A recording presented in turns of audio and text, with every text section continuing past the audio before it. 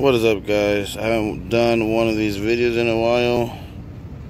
But um, yeah, how do you fix a flat?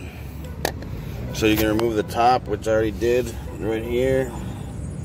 And you're just gonna shake it. If you don't shake it, it's not gonna stir up properly. And then you're gonna take this part out here. Take this uh, part out, put it towards the front and then you're gonna connect it just like I did the the air earlier. Make sure you shake it first. Oh, this button right here. So as soon as you hear the air pressure that was the air pressure coming out.